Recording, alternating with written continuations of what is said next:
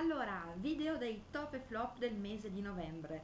Sembra un po' molto arancione, ma è lo sfondo molto arancione, sì, ebbene, sono già a cammino acceso perché siamo sempre a novembre. Decorazione mh, autunnale, le ghiande, le ghiande eh, sono carine. Ne ho anche persa una, ma ah, va bene. Allora, iniziamo con i top e i flop. Partiamo con i top, come sempre. Primo top. Ci sono dei top questo mese? Ma ah, sì dai.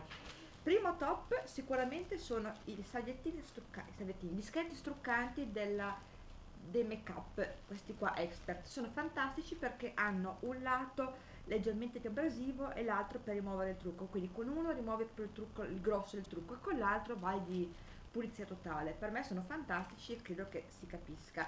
Anche perché ehm, li trovo spesso in offerta a 99 centesimi quindi faccio super super scorta. Altro prodotto che eh, quando non trovo quei dischetti lì allora a questo punto prendo questi della Cotoneve. Che Cotoneve fiocchi di purezza eccoli qua questi.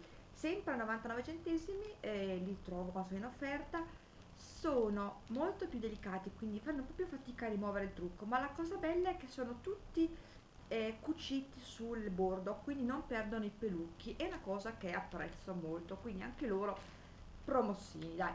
Eh, altro promosso mettiamoci un ni un ni un ni del mese è questo. Eh, trattamento anticellulite del libro 6 Clé Vegetal Minceur ehm, sapete che da solo non fa una cippa ok va bene ma comunque ho trovato che ha migliorato un po' la situazione soprattutto perché favorisce un po' il massaggio.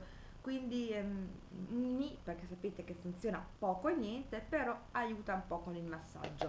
Andiamo ai flop perché ci sono e come se ci sono.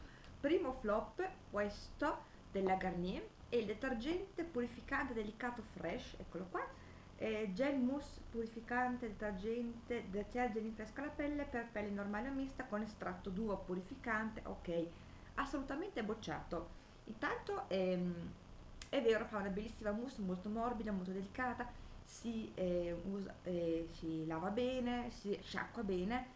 La mia pelle non lo tollera. Mi sono uscite un sacco di imperfezioni con questo prodotto e appena l'ho smesso sono, stanno calando quindi è sicuramente questo. Quindi io attenzione se avete la pelle soprattutto sensibile anche se è normale o mista come la mia eh, anche se sensibile no non è proprio un buon prodotto. Usato anche una volta al giorno la mia pelle non lo tollera quindi bocciato. Altro bocciato e lo sapevamo che era un bocciato questo però ci sono cascata. Labello. Questo mi sembrava carino perché fruit shine era un rosso. Un pochino si vede ancora è un burro cacao che colora effettivamente questo colora molto. Però io sono ricaduta del circolo del labello perché non idrata niente. È un, burro tanto molto morbido e quindi eh, si va più a spiaccicare sulle labbra non è neanche bello non è neanche comodo da portarsi dietro.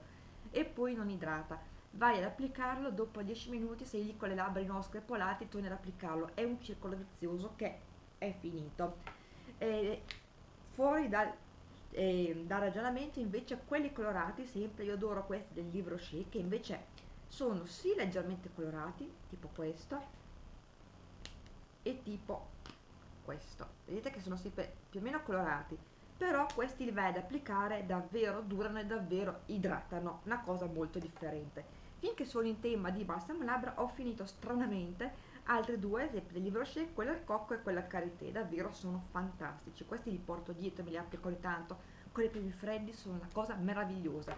Questi erano tutti i top e flop del mese di novembre, fatemi sapere se siete provati, se avete provato qualcuno, come vi siete trovate, io spero sia stato utile e se vi è piaciuto il mio video lasciatemi un like e iscrivetevi al mio canale. Alla prossima, ciao!